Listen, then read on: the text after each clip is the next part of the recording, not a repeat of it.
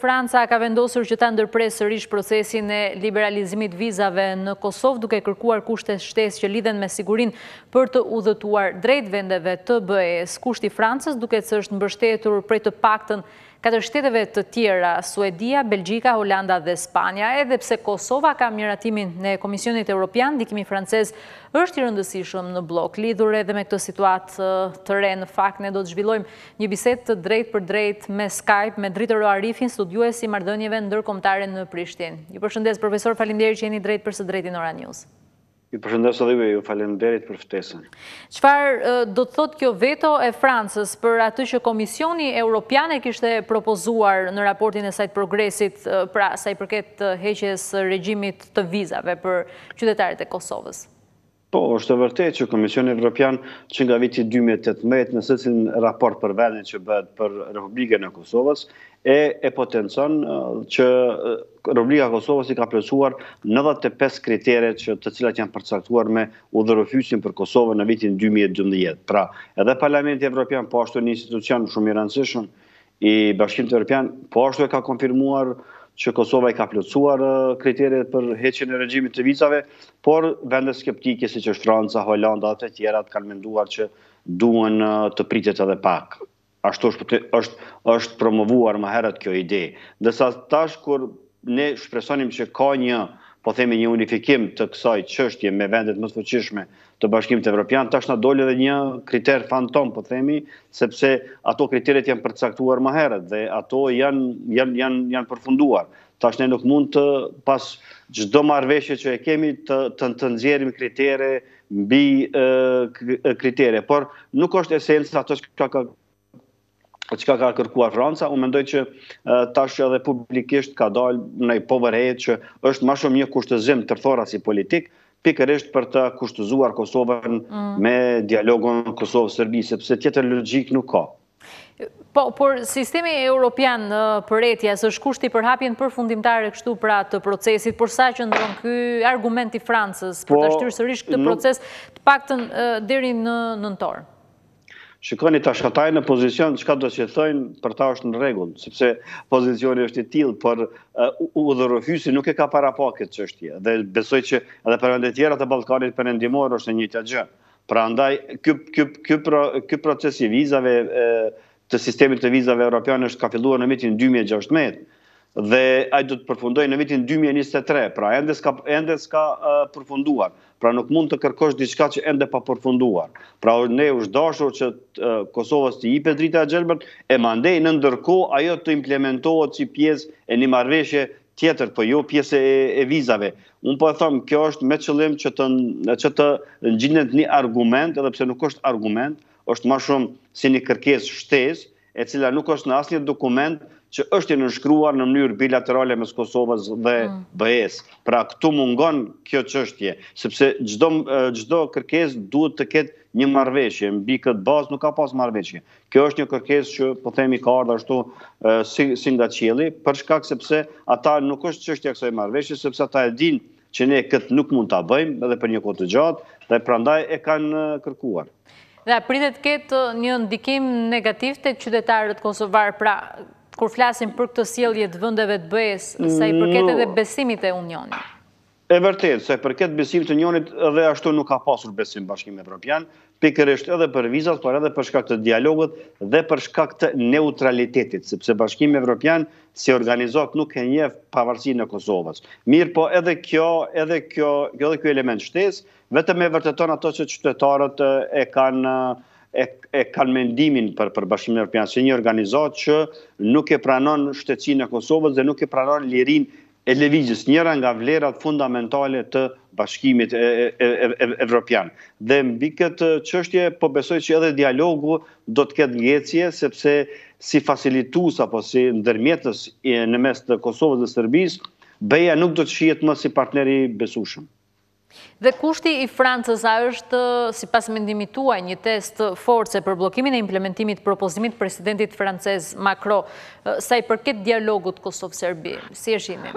Unë mendoj që po, sepse në një farë mënyre Franca dhe Gjermania janë rikyqur prapë në dialog, kinse po për t'i dhënë po themi një fuqizim politik zotit Lajçak pra emisarit special të Bashkimit Evropian dhe ata me siguri e kanë paraqitur një kornizë të re ajo që po përflitet dhe tash nëse korniza e re nuk e merr dritën e gjelbër nga qeveria e Kosovës pra do të po. ketë po themi shkopin pra kjo është shkopi i parë që BE-ja po e tregon karshi Kosovës, mirëpo problemi nuk do të zgjidhet, sepse vizat edhe mund të mos hiqen, ajo është çështje e BE-së se si e merr vendimin, ne detyrat tona i kemi përfunduar.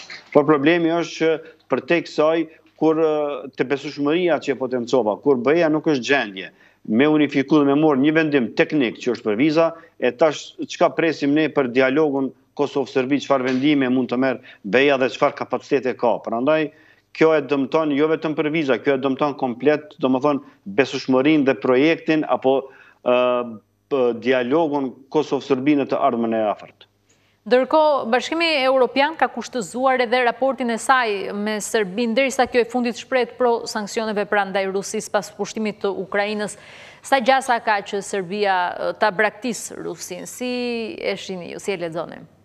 Nuk e di Serbia çka do të bëjë, a do ta braktisë Serbinë a jo, por sa i përket Bashkimit Evropian nuk besoj, sepse Bashkimi Evropian ka gjithmonë deficit të madh të vendimmarrjes, këtë e ka dëshmuar që sa vite, edhe në këtë rast Serbisë është dashur që t'i vënë sanksionet që në shkurt, të vitit të këtij viti kur Rusia bëri një agresion të paprovokuar dhe tash po po shkon gati 8 muaj luftë sa janë bërë dhe Bashkimi Evropian i, i dërgon disa letra Serbisë që do t'i do t'i vendosë sanksione gjë që nuk që nuk besoj, por Serbia do të mundohet deri në fund t'i mbajë të dy karrikat, edhe Rusinë edhe BE-n, deri tash ka pasur sukses për të ardhmen Mbetet të shihet. Mhm. Dhe ndërkaq ditën e djeshme, ambasada amerikane në Prishtinë sërish i bën thirrje qeverisë së Kurtit të udhëhequr pra që të zbatojë vendimin për tokën e manastirit të Deçanit, duke kujtuar se ai vendim ka të bëjmë me sundimin e ligjit, pra jo me etninë politikën apo edhe me fenë. Në fakt, ç'po ndodh sa i përket marrëdhënieve SHBA-Kosovë? Po, marrëdhëniet SHBA-Kosovë janë në nivelin jo, ndoshta siç kanë qenë më herët, por janë stabile, janë janë të mira, kisha thënë, jo të shkëlqyshme, pra, por të mira. Pra, kur themi marrëdhëniet më herët, e kemi fjalën këtu, tani më marrëdhënia që është me qeverinë Kurti, apo jo? Me qeverinë Kurti, sidomos me qeverinë Kurti, janë të mira, por jo të shkëlqyshme. Kjo është një mhm. dallim, fundamental, sepse qeveria Kurti nuk ka dashur që të tregohet shumë pragmatike dhe kreative në disa çështje, sidomos për çështjen e manastirit të Deçanit, sepse kjo çështje ligjore, Gjykata Kushtetuese në vitin 2016, realisht e ka marrë një vendim, për kthimin e 24 hektar tokë të kishës serbe në në në në Deçan.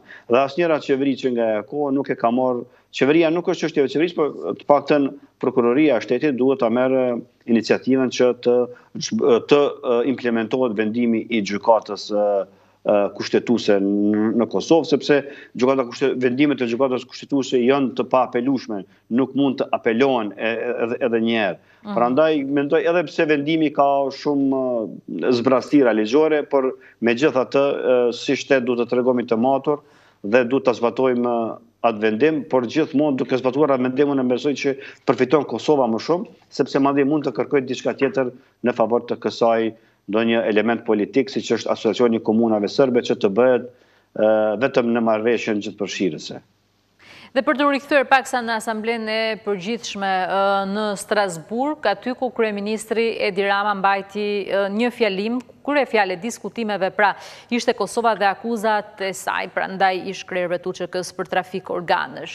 Fillimisht do doja të dija si e patë ju fjalimin e zotit Rama, pasi disa e lexuan si fjalim historik të tij dhe disa të tjerë e panë si një shenjë e arrogancës së pushtetit, ku zoti Rama e ngatërroi kështu foltoren e Strasburgut, nëse e cilësojmë me atë të Kuvendit të Shqipërisë?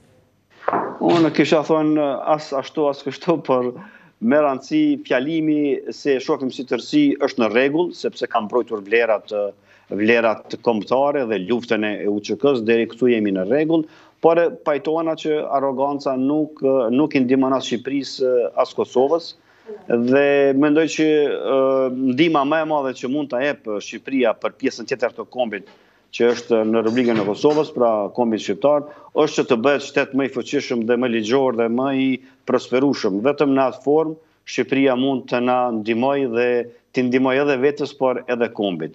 Unë mendoj që kjo ato që fjalimi i Ramës është në rregull, por këto duhet t'i dëshmojë tash edhe me veprime të tjera që i bie që mos të shkojë tash në përqafim të zotit Vuçiç. Pra, mhm. eh, ai duhet tash ta dëshmojë që Ballkani i Hapur mund të bëhet, por me kushte, pra jo pa kushte. Kjo është eh, esenca të cilën nuk duhet që tregu shqiptar t'i ofrohet eh, dikujt tjetër pa e plotësuar kushtin e të paktën e kërkimfaljes. Pra, kur flasim për krimet e luftës, zoti Rama nuk ka kërkuar asnjëherë asnjë kusht për Serbinë që para se të bëjmë çdo punë tjetër, çdo bashkëpunim, atëherë duhet të kërkosh falje për krimet që janë bërë. Këtë gjë të paktën në publik nuk e ka bërë, ndoshta në në forma të bilaterale apo forma të mbyllura të takimeve me zotin Vuçiç ka mund t'ia kërkojë, por publikisht nuk ka insistuar, po flas jo vetëm si kryeministër, por si shteti, si shteti shqiptar. Qartë, por a ishte ai vendi i duhur për qëndrimin e ashpër që mbajti zoti Rama? Jo, sepse qëndrimet e ashpra nuk prodhojnë politika pozitive.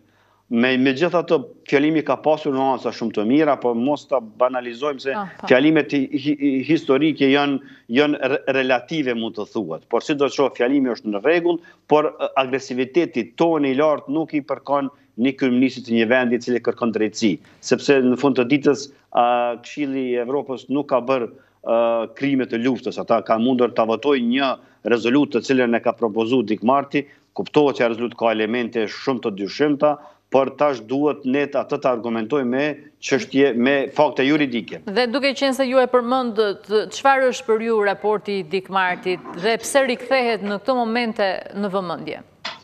Po, sepse raporti i Dick Martyt ka sidomos pika ku kërkohet, ku potencohet që në Kosovë dhe Shqipëri ka pasur trafikim organesh gjatë kohës së luftës dhe pas luftës. Kjo është ajo pika ma, po themi, ma fyese për tërë kombin shqiptar, jo vetëm për Kosovën dhe luftën e Ushtrisë Çlirimtare të Kosovës. Prandaj Shqipëria këtu ka pasur të drejtë që ka inicuar rezolutën, pra për heqjen të paktën të këtyre neneve ku nuk ofrohen fakte për këtë çështje. Pra, duhet juridikisht të fitohet beteja. Politikisht është hapi i parë, është bërë, ka përfunduar. Tash duhet beteja juridike që të fitohet në Këshillin e Evropës, që të votohet kundër asaj rezolute në Këshillin e Evropës. Dhe në opinionin tuaj, a e përdori zoti Rama çështjen e ish-presidentit Hashim Thaçi si pretekst për t'u kundërvënë Brukselit dhe Perëndimit lidhur me kritikat dhe kundërshtitë për devijimin e tij të diplomacisë së Shqipërisë drejt lindjes? Është, është, për mua është edhe befasuese se si Shqipëria mundet të jetë aq antiperëndimore, megjithatë, sepse tash Shqipëria i ka hapur negociatat me Bashkimin Evropian. Tash është ajo matja reale se si Shqipëria mund të bëjë reforma dhe t'ia dëshmojë evropianëve që edhe Shqipëria është një vend dhe me mentalitet evropian. Këtë nuk po e shoh që po e bën zoti Rama e as qeveria shqiptare. Për fat të keq, dhe duhet të kemi kujdes vërtet me këto fjalimet me këto akuza shumë të rënda, sidomos ndaj Bashkimit Evropian, sepse nëse ka dikush akuza mund të jetë Kosova ajo që duhet t'i akuzon sepse jemi vendi më i izoluar në kontinentin e Evropës, por megjithatë mënyra diplomatike se si argumentohen gjërat është arti i së mundurës. Dhe Shqipëria është vend i NATO-s, në njëfarë mënyre është vend i botës perëndimore, prandaj por duhet të zhvillohet nga brenda, sepse kur ka zhvillim nga brenda dhe është një shtet serioz, atëherë edhe fjala e një kryeministri shqiptar do ta ketë peshën e vet. Përndryshe, pesha e Shqipërisë në këto momente siç është Shqipëria, nuk besoj që ka peshë të madhe politike. Megjithatë, duke qenë se fjalimi i zotit Rama shkaktoi incident diplomatik ku grupimi i PPE-së që është edhe shumicë në Asamblenë Parlamentare të KiE-së refuzoi ftesën për darkë të palës shqiptare, lidhur me këtë çështje ka pasur kritika të forta ashtu sikundër e thamë edhe në Kosovë, por edhe në radhët e opozitës shqiptare. atë që ju argumentuat pak më herët pra reagimi i zotit Rama, i cili u mbrojt duke thënë se ai foli vetëm të vërtetën për anëtarët e Strasburgut, të cilët nuk i pranuan ato. A është ky një incident dhe një dështim fatal diplomatik i Shqipërisë? Kisha thënë dështim i radhës, sepse zoti Rama ka pasur skandale edhe më herët, sidomos me shtetin e Bullgarisë, ku ka bërë skandale diplomatike. Kjo është njëra ndër ato skandalet, pavarësisht po them gjendjes, nuk jemi në gjendje lufte, prandaj duhet pasur kujdes se si një kryministër shprehet, sepse i bën dëm edhe Shqipërisë, edhe Kosovës, sepse Kosova ka shumë armiq edhe në Këshill të Evropës, Ne këtë gjithë e dimë, por ne duhet që të luftojmë me fakte dhe argumente, sepse ajo po vërehet çdo ditë, ne po i bindim që Kosova është në rrugën e duhur dhe Shqipëria. Prandaj nuk duhet të jemi agresivë në këtë çështje, sepse në fund të ditës edhe e drejta juridike dhe politike është në anën tonë. Kështu që duhet të jemi më të relaksuar në këtë çështje. Qartë, por në fakt duket se incidentet sa vinë dhe shtohen, e kam fjalën këtu për incidentet e diplomacisë shqiptare, si me Iranin, me Rusinë, me Kosovën, me Bullgarinë dhe me Europën e bashkuar, ashtu sikundër dhe me Italinë dhe tani edhe me Këshillin e Europës. Si e shihni ju diplomacinë e Tiranës zyrtare? është në një farë mënyre, nëse shohim në parametra tjerë, një farë mënyre i ka humbur busulla. Pra nuk guxon një shtet që është vend i NATO-s me i humb busulla. Me Iranin është diçka tjetër, por me vendet tjera, mandej është një kuptim krejt tjetër. Pra nuk mundesh, Shqipëria nuk ka kapacitete dhe mundësi dhe instrumente të fuqishme që të njëjtin front, që përmendët ju, po në njëjtën kohë të shpërndahet në të gjitha frontet. Dhe sepse kapacitetet e Shqipërisë dihen. Prandaj duhet të jemi shumë të kujdeshëm, sepse kur them të kujdeshëm mendoj për Republikën e Shqipërisë, sepse çdo dëmtim i imazhit të Republikës së Shqipërisë është gjithmonë dëmtim edhe i Republikës së së Kosovës, sepse mbrojtësi ynë më i më më më i fuqishëm dhe zëri më i fuqishëm në secilin institucion ndërkombëtar rajonal është Shqipëria. Andaj edhe dëshira ime është që Shqipëria të jetë të bëhet sa më e fuqishme, Ekonomikisht, normalisht, ajo do të ishte një një ëndërr shumë e një një kërkesë shumë e rëndë me rëndësi para për kombin shqiptar, sepse duke u fuqizu Shqipëria fuqizohet edhe